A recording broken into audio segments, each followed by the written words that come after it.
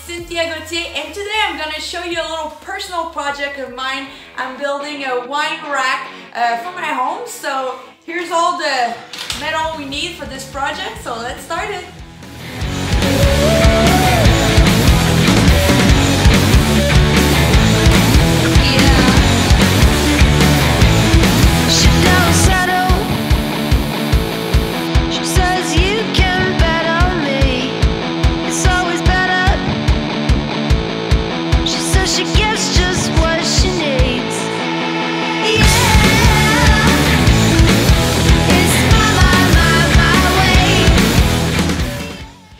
I got inspired on Pinterest for that whole project. I kind of changed the look a little bit of it, the size of the rectangle, so it fit in my house. So now I'm done with the whole base of the project. I also made a bunch of rectangle. Those are for the bottle wine.